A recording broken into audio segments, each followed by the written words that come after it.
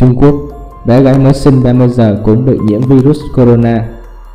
Tờ Daily Mail hôm 5 tháng 2 cho biết một em bé sơ sinh ở Vũ Hán được phát hiện dương tính với virus corona chỉ sau khi chào đời 30 giờ đã khiến nhiều chuyên gia lo sợ virus này có thể đã lây từ mẹ sang con.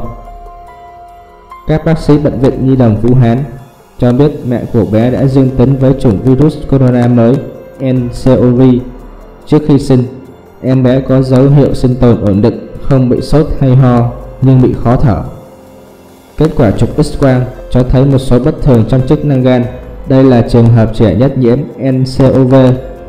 Trước đó hôm 3 tháng 2, bé 1 tháng tuổi ở tỉnh Quý Châu, Trung Quốc cũng được xác định nhiễm bệnh. Ông John Lincoln, nhà chức trách từ Bệnh viện Nhi đồng Vũ Hán cảnh báo trường hợp này nhắc nhở chúng ta phải chú ý đến khả năng lây NCOV từ mẹ sang con. Chúng ta cần lo ngại về con đường lây nhiễm mới của virus NCOV. Cũng theo ông Zhang, phụ nữ mang thai nên tránh xa những người nhiễm virus.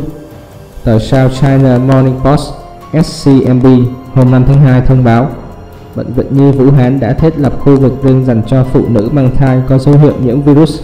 Hiện chưa rõ trường hợp lây từ mẹ sang con này nằm ở giai đoạn nào, là lúc mang thai, trong khi sinh hoặc thời gian sau sinh.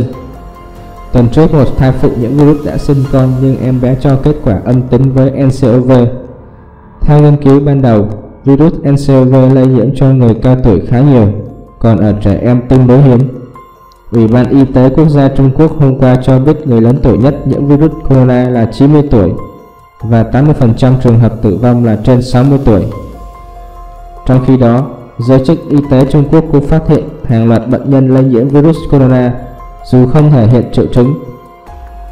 Ông Li Wang, lãnh đạo khoa truyền nhiễm tại một bệnh viện ở Bắc Kinh cho biết, phần lớn những người mang virus corona ngủ đông đã nhiễm bệnh từ những người có xuất hiện các triệu chứng rõ ràng chẳng hạn như ho và sốt. Những bệnh nhân này mang virus trong người và có khả năng lây nhiễm. Lượng virus trong cơ thể tỷ lệ thuận với bệnh tình nghiêm trọng hay không. Bệnh nhân mang ít virus hơn sẽ có ít khả năng lây nhiễm hơn, ông Lee chia sẻ.